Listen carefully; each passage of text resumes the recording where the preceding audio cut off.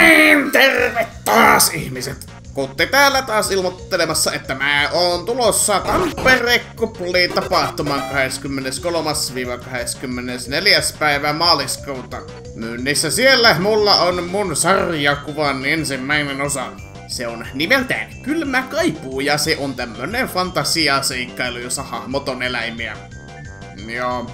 Tää on nyt se syy, miksi ei oo tullut videota pitkään aikaan, kun tätä piti piirtää hikihatussa, että sain deadlinein mennessä valmiiksi. Ja mä itse on myyntivuorossa lauantaina kello 16.00-17.00, eli jos haluatte just nimenomaan multa ostaa sen lehen, niin tulkaa tohon aikaan. Mä pyörin kyllä mestoilla ihan koko viikon lopun, että voi tulla muullokin ostoksille.